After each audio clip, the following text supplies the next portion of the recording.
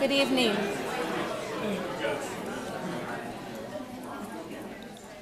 Thank you all for being here tonight. My name is Dr. Kathryn Getek Soltis, and I have the privilege of directing the Center for Peace and Justice Education at Villanova University. And since 1990, the center has annually recognized outstanding contributions to understanding and the meaning and conditions for justice and peace in human communities. Our past recipients of the award include Jon Sobrino, Habitat for Humanity, Sister, Sister Helen Prejean, Archbishop Desmond Tutu, the Philadelphia Mural Arts Program, and the Coalition of Immokalee Workers. Tonight, we have the great honor of adding Ms. Leymah Gbowee to this list as a recipient of the 2011 Adela Dwyer St. Thomas of Villanova Peace Award. The award was made possible by a gift from the late Adela Dwyer, and we recognize Dr. Barbara Wall, who first proposed this award while director of the center, and the late Father Ray Jackson, who helped secure the gift as well as the Order of St. Augustine for its continuing support. I also want to thank the dedicated and hardworking faculty and staff of the Center for Peace and Justice Education who helped make this evening possible. Carol Anthony, Sharon Disher, Jennifer Kisco, Will Stell, and Tim Horner. Thank you all. And sincere gratitude goes as well to the many departments and programs that have co-sponsored tonight's award the Theology and Religious Studies Department, Political Science, Sociology, the Ethics Program, Africana Studies, the Institute for Global and Interdisciplinary Studies, and Gender and Women's Studies. Many people at Villanova are very excited for this evening. Good timing has blessed us several times over as we honor Ms. Gbowee tonight. Next Wednesday, on September 21st, people all over the globe will be celebrating the UN International Day of Peace. So as happens at a university, you have some homework. Look for the Peace Day Philly website for projects and events happening in our community. The other bit of good timing is a five-part PBS series that will be broadcast this fall called Women, War, and Peace. Pray the Devil Back to Hell, the 2008 documentary featuring Ms. Gbowee and the women of Liberia, will air on October 18th. And finally, in happy timing, Ms. Gbowee's book, Mighty Be Our Powers, How Sisterhood prayer, and sex changed a nation at war. This book has just been published this month, and copies are available after the talk outside. But before you think we are too clever, the truth is that we knew none of this at the time that we decided that Ms. Gbowee would be offered the 2011 Peace Award. but what we did know was that she would be an extraordinary person to teach us, inspire us, and challenge us to use our powers well in the pursuit of peace. In 2003, Ms. Gbowee helped to form the Liberian Mass Action for Peace, a coalition of Christian and Muslim women who demanded that dictator Charles Taylor and rebel leaders engage in peace talks after 14 years of violence, of great violence, of killings, of rapes, of hungry children, traumatized children. All of this ravaging Liberia. So these women, impassioned, unrelenting, ingenious, these women demanded and achieved peace for Liberia, including the exile of Taylor. And I want to share with you, just for a couple moments, a clip from the documentary, just to give you a sense and a visual of the courage and commitment of Miss Gbowee and these women.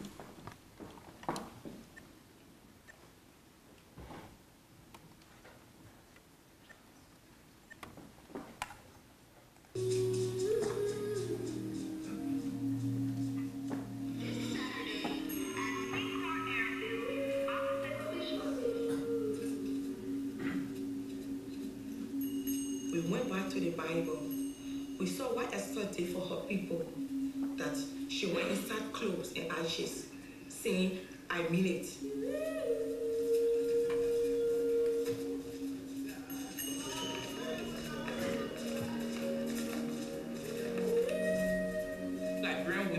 Women that love to do their hair and put on jewelry and makeup were not allowed to do any of those things. We wore plain white clothes with the hair tie. We wore the white, saying to people we were out for peace.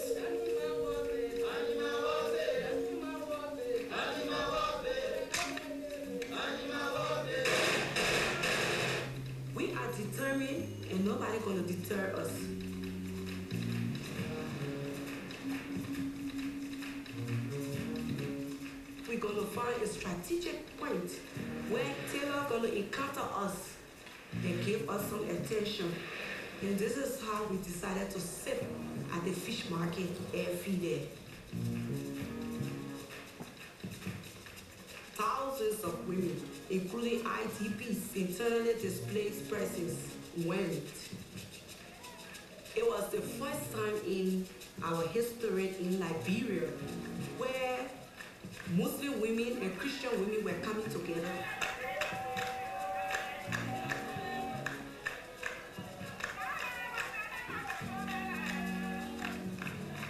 And we had a big banner that said, the women of Liberia want peace now.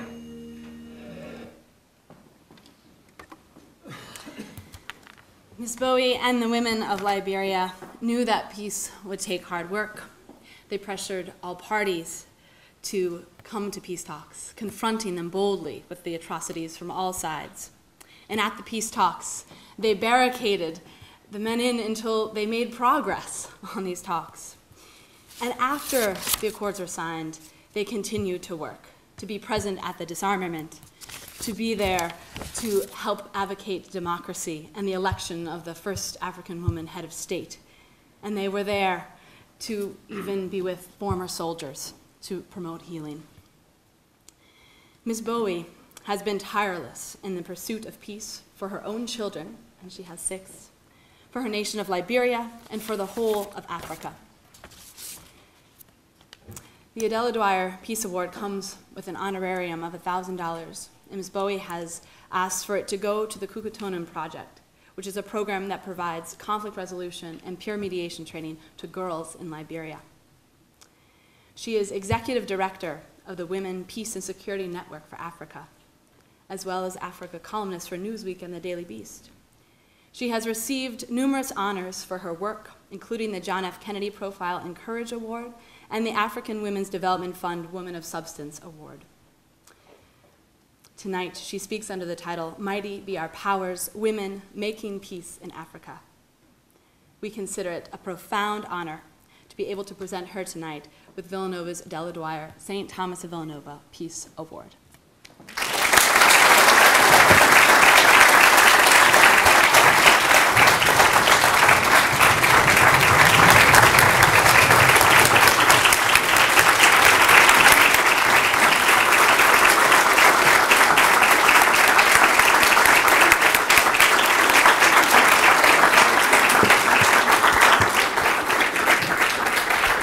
Thank you. Please be, please, please be seated. Thank you very much. I will not attempt to call the name of the award. I may disgrace myself. The first time my, my own encounter with Villanova has been my basketball crazy yeah. This is one peace activist that is a huge basketball follower. So the name Villanova has been ringing in my ears whenever you have the university, the college games going on. The second encounter with Villanova, I have a daughter who's now um, at the Marymount High School in New York. And last year, she got a scholarship to come to school in New York, and she's, she, they decided to do the college tour. And it's all new to me because in Africa, where you have the money, that's where they go. No one is going to test the temperature of the college and the pulse of the instructors and the climate of the university. Where my cash fits, that's where you're going. so she came to Villanova and my cousin here lives nearby, and she was excited that she's probably going to take it because it's a nice place. And this little girl comes back, and her voice is nothing like my own. And I say, How was Villanova? I don't like it. I say, Why? All of the students look depressed. I said, Well, I bet it was exams week. So before I came here, my partner who could not be with me called and say, said to me, Have you been to Villanova? Do they really look depressed there? And I said, Well, I have to get there to see their faces, and you don't look depressed. I think it was exams week. Members of the faculty and staff of Villanova, student body, community members, distinguished ladies and gentlemen. I bring you warm greetings from the west coast of Africa, a place I call my home. To God be the glory for this day and for his many blessings in my life. I'd like to recognize the presence of my family members here, my cousin T and her three daughters, Soma, Bonye, and Pina, and my cousin Major Thomas, they all migrated as a result of the Civil War and they are now living the American dream, whatever you call it. I would also like to say thank you to the faculty and committee of the Center of Justice and Peace Education for bestowing the honor on me as the 2011 recipient of this award. I gratefully accept it on behalf of myself and my compatriots, the women of Liberia in particular, and the women of West Africa in general. Today, and the gesture by this university family have reinforced my mantra never despise humble beginnings. Never despise humble beginnings. Exactly eight years ago, tired with war, tired being used as porters and sex toys for overdrugged soldiers and child fighters. A group of us, ordinary women, mothers, daughters, decided we needed to do something to change the course of our lives and the situation of our community. We started something we had no idea where it was headed, but we called it the Women of Liberia Mass Action for Peace. This movement was dedicated to peacefully protesting the end of the Liberian Civil War.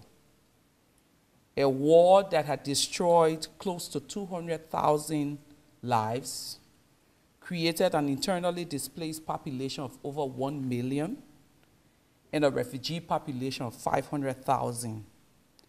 The war destroyed Liberia's economy from one of the fastest growing compared to Egypt, Indonesia, and Philippines, and double that of India in the late 70s to a GDP decline of 31.3% in 2003.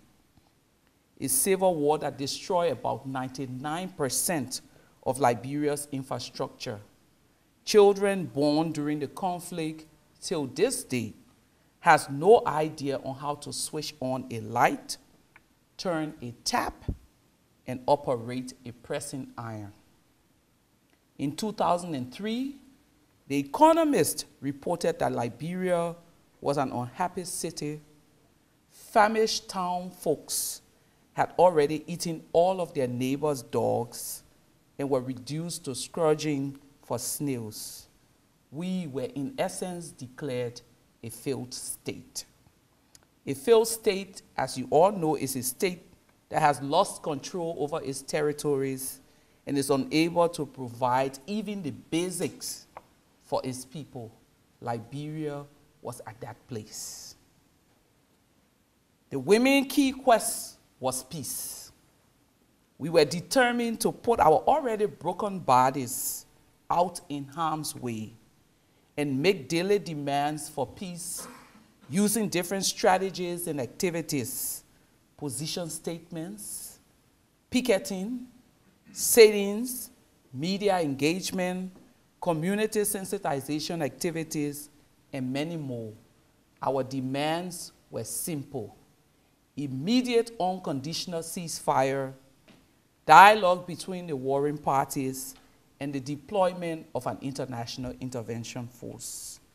Our key message we want peace, no more war. We had no financial backing. We had limited access to funding for our numerous activity. We were armed with determination and passion. On days where we, were we had limited funds for transportation, we walked. On days where there were no water to quench our parched throats, we fasted. On days where action seemed to be getting us nowhere, our faith saw us through. By August 2003, a peace agreement has been, was signed. But I'll pause there and give a typical example of one of our days. We had no political connections. We were ordinary women who had no contacts in the government. Our only claim to, flip, to fame and political power was a Etweda Sugar Cooper who came from the elite American Liberian group. She decided this is a group that I want to affiliate with. So on one of the days, we heard that the chief of defense staff of the different armies in West Africa were coming to Liberia, and the international contact group that was responsible for negotiating a peace talks was also coming. Someone called and said to her they were bringing women to speak. We were not invited. That morning, we decided we we're going. No transportation. It was raining cats and dogs. We walked like an hour from where we sat to the center city, and then we got to where this meeting was being held, and it was barricaded by armed men. We stood there really frustrated and thinking, how did we come this far just to have nothing? And one of the girls said, there is a communications and photocopying place just down the street. Boss lady gave me a copy of our statement, let me go and laminate, make a copy and bring back. And I said to her, Olive, what do you think you're going to do with the statement? Say, just give me any amount. Someone gave me money. And that's how we operated. Anyone with money will provide money. She took this statement, did the lamination, came back. And as soon as the gate of the meeting place was open, she ran straight across the street.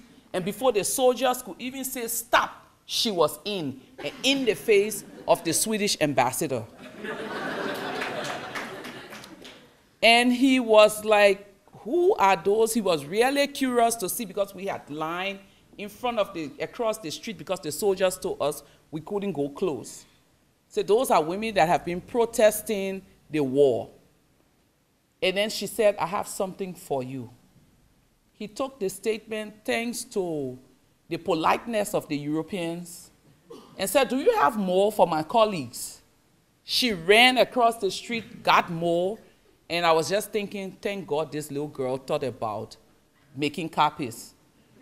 Distributed to these men and left. After the group left, we were now standing there in the rain thinking, how do we get back? Of course, we didn't have money for transportation. So we just started one jubilation singing and dancing and walking all the way one hour back to where we came from. Those are some of the memories that we still carry as we do the little work that we do in our communities. But by 2003, a peace agreement was signed. And the peace agreement that was signed didn't come on flower bed of ease. It came through sweat it came through tears, it came through a lot of frustration, but at the end of the day, we prevailed. We went back to a jubilating Liberia where people continues to credit us as one of the driving force for the peace we now enjoy in our country. The question we asked ourselves when we got back to Liberia, do we sit down now and allow the men to take over resounding no. So we decided one of the first things that happened after a peace negotiation has taken place is that the document is so bulky And we're too busy to sit and read 365 pages, but we needed the women to know the essence of the document. So we brought together 80 community leaders, and what we, we went through a process we call demystification of the peace agreement and setting benchmarks, something that the men in Accra failed to do. So we told these community women in this agreement, one, two, three, four, five things are supposed to be happening leading to democracy. This is supposed to happen from April to December. If you don't see it happening in your community, protest. This is supposed to be happening from January to March. If you don't see it happening in your community, protest. So that was our way of tracking how the peace agreement was done. We had a situation of failed disarmament in December 2003. We stepped in, helped the UN calm the situation, and then we decided again if we are successful in all of these things, when it comes to political engagement, we need to conscientize our women. Voters registration came, we did a survey and realized that these women, even though they had fought and advocated for peace, were not really putting themselves out to do political activities, to register to vote. And we went to the UN and said, for one of the first times, you need to do something targeting specifically women. And they said to us, you know, um, we think they're going to come out. I went to a presentation held by the National Democratic Institute and the Republican Institute talking about the need for us to do specific activities to really conscientize women like we did during the peace process for them to register and vote. And they were like, no. Five days to the end of voters registration, early morning, my phone ring, the UN is frantic, the American groups are frantic, women in these 10 communities are not registering to vote. And they're explaining something that I had explained like three weeks earlier to them as if it, were, as if it was new. This is the way donors behave. I said to them, What do you expect us to do? And they said, Well, if you can mobilize your women, we put 250 women out in those 10 communities, 25 per communities. And in four days, we were able to register 7,455 women. Those 7,455 would never have voted if we had not done those activities. So these were some of the things that we did. That we have a female president in Liberia, is it a surprise? No. Because we had a whole population of women who were conscientized and made aware that this is something that we need to do. We never imagined, as we did the work that we did for peace and security in Liberia, that we would be celebrated. I never imagined coming to Pennsylvania, Philadelphia, at a university called Villanova. I think the closest I would have ever come to this place was seeing the basketball team on TV. we never really imagined that we would be celebrated in a documentary we were clear in our heads that we had to be our own Mandelas. Everything we did in Liberia, we did for our survival and the survival of our children.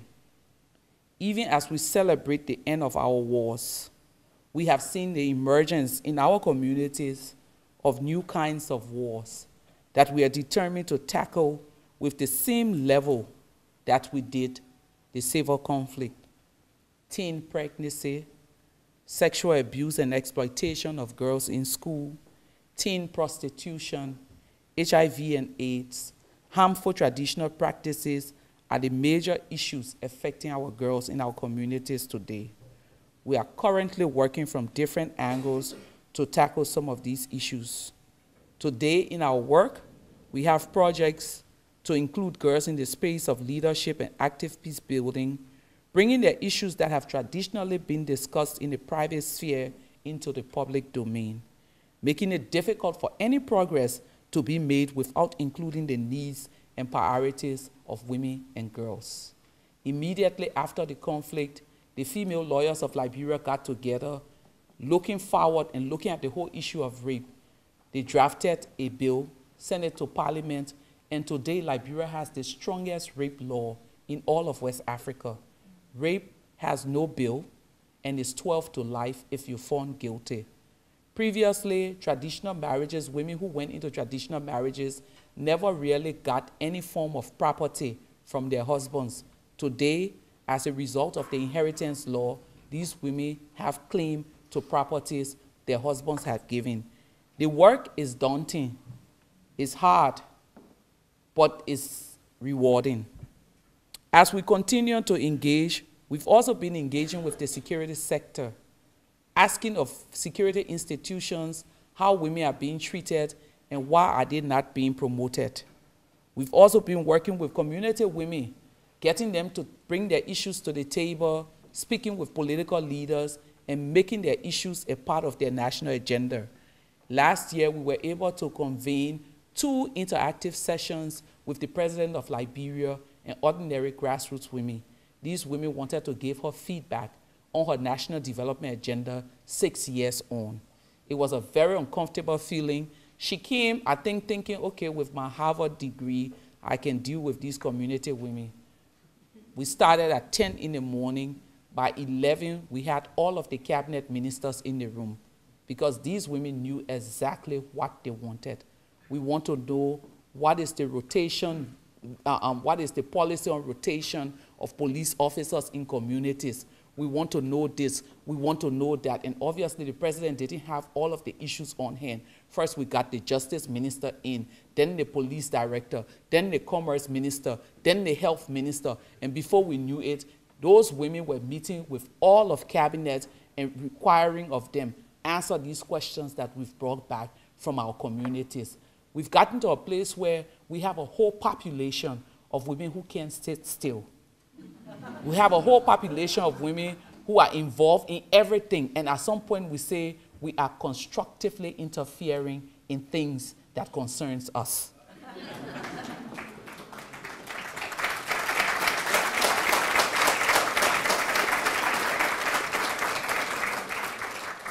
Not only are we working from within the space of Liberia, we've extended our work beyond the borders of other West African countries. In 2007, Sierra Leone was going to elections. There were issues of violence, there were issues of colors, there were issues of different things happening in Sierra Leone. We did something called the Liberian Women Peace Train to Sierra Leone.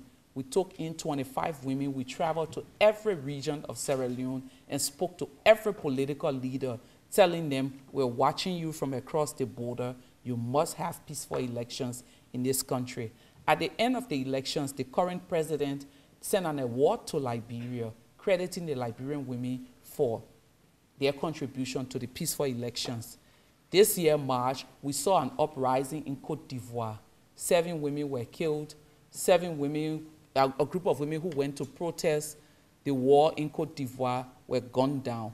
What did we do? We gathered women from Liberia, Ghana, Sierra Leone, as soon as we heard that the leaders of West Africa were meeting in Abuja, Nigeria. That was one of my favorite times. You would think that you've lost the steam for protest and advocating after eight years. And then we go to Abuja and they have all of these security concerns that they have suicide bombers and they have this and they have that. And we were determined to put a thousand women out to protest the death of the Ivorian women and to require of the West African leaders to speak with one voice on the issues that were going on in Cote d'Ivoire. We got to Nigeria that morning. We did all of our mobilization. We had one male partner, and he kept saying, Never in the history of ECOWAS that is the Economic Community of West African States, have we had a gathering of the presidents and they've had ordinary people speak? Never. Never in the history have the heads of state added something on the agenda that wasn't pre-planned. Never. And he kept giving us never and never. And never have we seen the Nigerian police give overnight clearance to people to protest, especially in these security times. Never. And we went on and on with the never and never and never. And then finally said to him, We want to read a statement during the Heads of State Summit. Did you hear anything I told you? Never. We were determined, as we were determined in Liberia. I, talked, I talk, turned to my mentor, Sugars, and said to her, Sugars, we have a tax on hand. pick up my phone, call Liberia, and said to the special assistant of the president, we need to speak to Madam President, we're in Abuja. And she said, well, she's coming and I'll tell her to find time to meet you when she's in Abuja. That night, the president came, we stayed up till 3 a.m. The Sierra Leoneans were trying to get to the Sierra Leonean president. The Ghanaian women were trying to get to their vice president. So we're taking it from every angle. The next morning, we came back dead end. I went to the hall and said to Sugars that morning as they were sitting delegates, they gave me a pass and said, sit in the hall. We had almost 300 women already gathered outside protesting.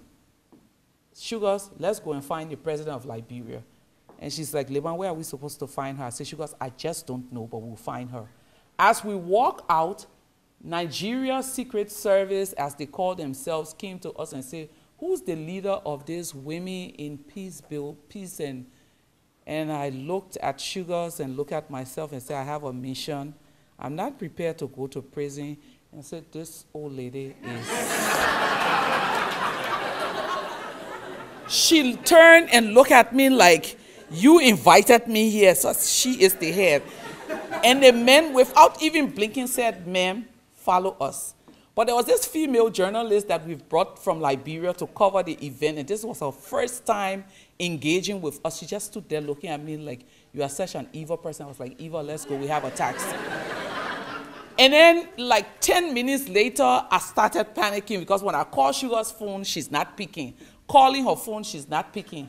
And finally, my phone rings. Sugars is on the line. Leymah, come on the seventh floor. Said, Sugars, where are you? just come on the seventh floor. We get on the seventh floor and they open this door, and Sugars is sitting on the breakfast table with the president of Liberia. Sugars, how did you get here? Sit down and shut up. so I sat down, and then she said, Madam President, Leymah has something to say to you. So I said, Madam President, we need one minute just for the Ivorian women to make their statement. She said, one minute should be nothing. Call her foreign minister, who, who are my allies? President Wade of Senegal, President Jonathan of Nigeria. But President Jonathan cannot say anything because he's the chairman. So she went, we went around, President Koroma of Sierra Leone, name all the presidents that were her allies and say, get their foreign ministers on the phone. I want to talk to their presidents. For the first time, women entered. For the first time, the agenda shifted for the first time, we spoke at the Heads of State Summit.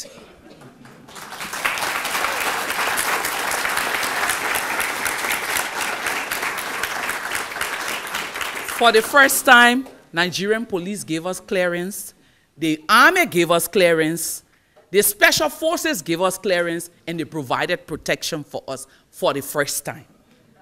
This is just to give you a clear indication that when you are determined, determination, passion is what moves the world. We have seen, I have seen in this work that I do, from Congo to Liberia to Cote d'Ivoire to Ethiopia to different countries on our continent, powerful women armed with nothing but their determination. The question I have for this community of people what is staring you in your face? What are those issues in your communities? Are you looking and thinking, oh, I need to go to Africa to help? Are there problems in your backyard that you need to deal with? Are there social issues in these communities that you need to work with? Are you waiting for some political endorsement or some university endorsement or some funding? Do you have a passion that is causing you not to sleep at night. And even when you try to close your eyes, you can't open your eyes. My challenge to this university family, to this community of people, there is a lot of good in humble beginnings. Never did we even imagine, not just with the mass action for peace, but with the work with the Ivorian women, with the work with the Congolese women, with the work with the little girls that we do in those rural communities, that we will see the kinds of success that we've seen. In my lifetime, I've seen what little can do for a whole community of people. I've seen what just making yourself available to a minority group, to a deprived group, to a hurting group can do for that group of people. I've seen, I've seen what even just waking up in the morning and having a smile on your face can do to a community of people. What can you do for your community? What are you doing and thinking that I'm doing nothing? I've encountered girls in this country who said to me, You know, I do this little work in my community, and I don't think I'm making impact as you are making. I, I always admire King and Gandhi, Mandela, and I never really felt like I was doing anything and I'm doing anything close to what they're doing. But as I look back at the community of people that I continue to interact with, sometimes when I speak, I wish people could put my eyes on to see some of those women that I encountered 10 years ago who were in depressive, domestic violent relationship. I know one woman whose husband was a pastor. She has 13 children, all alive. She was never allowed to complete her education. And every time she said, I felt like I had some powers. But every time I tried to speak, my husband would turn to me and say, The wife of a pastor only pray. Go sit down and pray. After working with her for 10 years, today she sits on the President National Campaign Coordinating Team. She's one of the most powerful women in central Liberia. Men, women, boys, and girls who want political office confer with her. And she tells you, if I tell my people not to vote for you, they will not vote for you. She is so powerful. She's one person, last September, she was at the UN speaking her broken pidgin Liberian English about the power of mobilizing community women. We may never be Mandelas. You may never be a king. You may never be a Rosa Parks. No one might ever recognize your work. You may come to school at Villanova and never get this award, but there is value humble beginnings. I've seen it, I've tasted it, I've lived it, and whilst I appreciate all of these awards, but I always feel good going back to my humble beginning. The community where I can dance with the women, dance with the girls, talk about their issues. Because that, for me, is where the actual work takes place. Join me. Join other women in the US. Join other people in this community and start your humble beginnings. With a humble beginning, you can definitely leave a legacy, no matter how small. Thank you.